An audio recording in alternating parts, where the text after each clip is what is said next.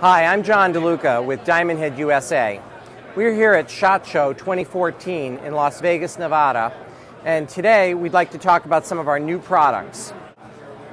Finally, in the sighting department, we want to point out again about our unique integrated sighting system that rotates to the side. They're called the D45s. They're being used extensively in three gun competition as well as law enforcement and military. They happen to work extremely well with an ACOG or other magnified optic where you have no possible way to have a pop up sight. But with these sights, they'll stow out of the way and flat on your uh, upper rail system, but when you need them to de- deploy quickly.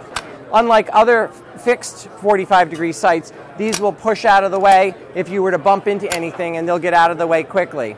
So this is uh, the only sighting system in the world that does it, and it's featured today at the SHOT Show.